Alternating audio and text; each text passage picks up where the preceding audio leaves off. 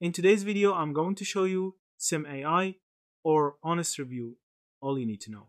This is what SimAI is. SimAI is a no-code or low-code platform for building, testing, and deploying AI agent workflows. It lets you visually connect AI models, tools, Slack, databases, email, etc., and logic blocks via a drag and drop canvas rather than writing large amounts of boilerplate code. It supports multi-model usage. You can choose between different model providers and offers both cloud and local hosting or self-hosting options. For example, via Ollama for privacy or performance concerns. One of the strengths reported by users is the speed of onboarding.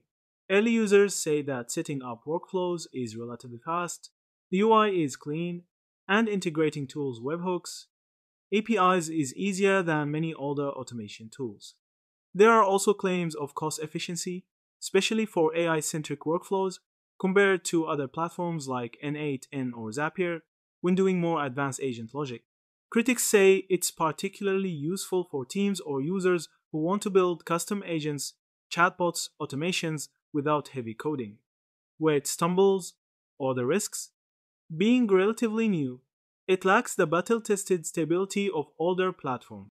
Users have pointed out that fewer degrees of freedom are available when doing deeply custom logic for very complex or edge case workflows. You might still need to drop into code or external tools. Also, because the community is younger, there are fewer existing templates, integrations, or community shared workflows, which means building things from scratch more often. Another key risk is cost predictability and scaling. Free or low tiers are great for experimentation, but as usage, number workflows, agent compute, integrations increases. Costs can rise sharply, especially if cloud execution or heavy inference is used. If you want to self host, you also need infrastructure to support it, which adds complexity. Yeah, that's it. Thank you for watching this video.